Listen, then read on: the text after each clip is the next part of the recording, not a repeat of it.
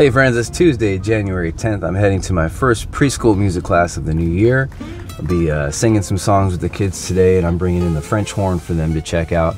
I don't actually play the French horn, I'm more of a French horn owner than a player, but uh, I will blow into it awkwardly and make them laugh at me, and then let them listen to some real French horn music on my phone.